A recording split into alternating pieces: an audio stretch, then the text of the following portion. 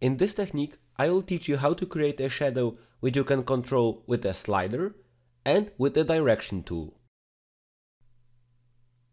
Hello there and welcome back in the third technique we'll learn today of adding the flat shadows into our composition. This will be a really interesting one because we'll use a few expressions, but don't worry, they will be very, very simple.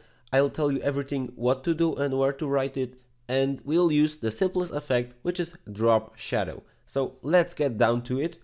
I have my composition ready. That's a simple animation. Perhaps we don't even need those wiggle effects, so let me go to effects and delete all those effects, the wiggle and the transform, because we don't need them and they'll just mess things up. We can add them later if you wanted. And let's start working on this. Once you have the layer selected you want to attach the flat shadows to, go to Effect and type in Slider Control, put in the Slider Control as the first effect, and now go to Drop Shadow. I have Drop Shadow here, and duplicate this effect, so we have two times Drop Shadow. So now you should have the Slider Control at first, Drop Shadow, and Drop Shadow number two. I will open them also here on the bottom. So we see what do we edit, open the effects, and I have all three effects right here. Please go to the first drop shadow, go to distance, and by holding the left Alt key or Option key if you are on the Mac, click on this little stopwatch to open the expressions for the distance property in the drop shadow effect. We will write down here a simple expression delete everything that is here and also do not worry you will only have to write this once because later on we will also save a preset so you don't have to bother anymore again with this. Just write this property dot property group 1 dot property index. This property is distance. Property group 1 is the container which is holding the distance, which is drop shadow in this case. Property index is the index number of the distance value. Property index will change the value with each new addition of the effect we will apply. So if we copy over the effect, it will have a distance of one more because in the index panel, it will be one new effect. It's not like I got to this on my own. There is a great article it was written a few years ago from Toby Pittman. Credits to Human, thank you very much.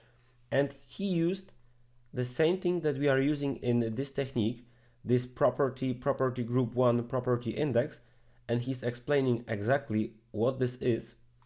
And he used the same technique to apply strokes which will grow automatically. He shows it here and he shows it later that with each index number the stroke is growing and the opacity is lowering down because he connected both the opacity and the strokes here to one master width layer. I just wanted to show you where this all came from. Okay, I click away, I'm ready with the expression. Let's move this to the side so you will see the expression better. And this distance has a index number of 2 because there is the slider control effect. If I would delete this effect, it would have the index number of 1 because it's the first effect here. And this is how we will repeat this effect and it will automatically raise the distance number until we have a full flat shadow. If you want to be perfectly precise and don't want a 2 here, you want to start from 1 or 0, just go at the end of the expression and hit minus 1. I will do so and now the distance is 1. The last step I need to take here is making plus, clicking on the pick whip and connecting it with the slider. The slider will help us make the shadow longer or shorter because it will delete the effect or add the effect. Okay, do not worry, we are complete with this expression. You don't need to do anything else, you just write the first expression, you can write minus 1 here if you want to start from 1, and you hit plus and pick whip the slider control so we can easily control the effect later on. Now I take this expression and copy it over to drop shadow 2. In the same place, just put it over the distance. I go to distance, I alt click here on the stopwatch, I just copy it over and there's nothing else I want to do. As you see, automatically it got the index number of 2. Now if I duplicate this effect, of course it will have the index number of 3. But one last thing I want to make to make my life easier is linking the direction because I only want to set this direction once and it should be applied to all the effects. This is achievable very very simple just as previously I hit the direction on the drop shadow number 2, hold the left alt or option key, click on the stopwatch, just use this little pick whip and connect it with the direction of the first effect. Because drop shadow number 2 will be repeated, but drop shadow number 1 will be our control layer. As you see, as I change the direction, the direction also changes for drop shadow number 2. Let me close this down. I hit drop shadow 2 and I hit Control or Command D to duplicate it. I want to duplicate it about 20, 30 or 40 times, something like that, until I get a full effect here. Oh, I see there is a little mistake. It's because the opacity is wrongly set. Let me delete those effects. Make the opacity on the first drop shadow 100, of course on the second also because we will copy it over. Alright, now we are ready to copy. I select this effect and I duplicate it about 30 or maybe 40 times to be entirely sure and that it works in each and every composition I'll make in the future. I go to the top because this is too much effects. I, ah, I clicked wrongly. Select all effects close them down and now we have the effect preset ready. Look what the slider does. If I move the slider to a negative amount of 40, because I have 40 copies here, it will close down to zero. If I want to have a longer shadow, I just move it over, but you need to be careful not to go over zero too much. Let me place it at zero. Also for the direction, it will be so simple to change the direction. I just click here, I drag it over and the direction is working automatically because I have all drop shadows has linked to this one direction option. So this is a very simple way to do it. One thing we can repeat from the steps we made before is adding, of course, the fill effect. I double click on it. Of course, I want a, I want maybe a blue shadow with the opacity of 50% about. And as previously also helpful CC Compo.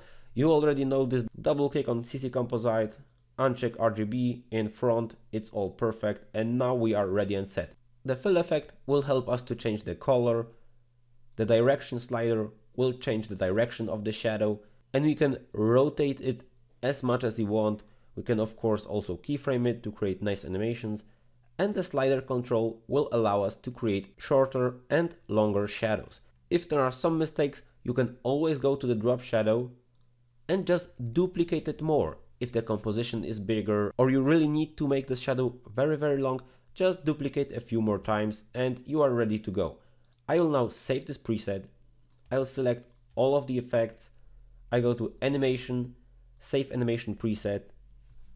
I'll make it ls technique 3 because it's the third technique we are learning and we are done with this effect. You need to be careful with one little thing but this wouldn't be a, prob a big problem because perhaps it won't be visible. But let me delete a few effects. If you drag over more effects for example I will drag one CC composite more and place it on the top above the drop shadow the drop shadow distance will be bigger by one index if I place 0 here of course because now the slider control was uh, making the distance bigger. But now it starts from 2 if I would have 10 effects here it would start from 11 or 12 so always remember that there shouldn't be too much effects before this drop shadow. Or while creating if you are creating this live you can always you can always place a negative number here of minus something if you are creating this effect live but I prefer to save the preset and just place it as the first one or even pre-composing a composition to be completely sure that I'm not deleting everything that I'm working non-destructive. So this is when it comes about to the third technique. I know it was a little bit more difficult and advanced. That's why it's the third technique, not the first. I just wanted to show you really several possibilities and teach you a few After Effects tricks along the way because when working in After Effects, sooner or later you will come across expressions and it's better to know something about them than to don't know anything. I wasn't digging deeper in those expressions because this is a rather beginner friendly class and I don't want to swarm you with informations because expressions are very advanced and this is a topic for a completely separate lesson. At the point where we are, I believe you should be able to follow the steps I took and implement them in your composition. Thank you very much for holding through this long in this lesson and for taking part in the lesson. You are a gem, really, thank you very much.